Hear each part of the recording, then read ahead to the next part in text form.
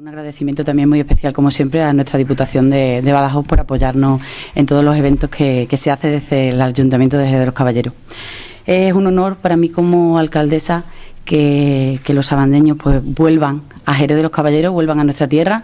Es la tercera vez que, están actuando, van a ir a actuar allí y, la verdad es que ha sido una grata sorpresa que hayan decidido tener como punto de, encuentro eh, en su 50 aniversario, pues otra vez de nuevo Jerez de los Caballeros.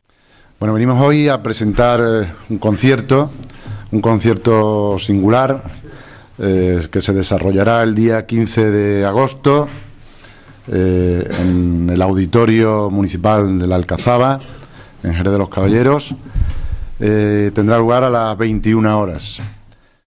Estar aquí en este momento ya es algo que todavía nos estamos pellizcando cada vez que nos levantamos por la mañana, ¿no?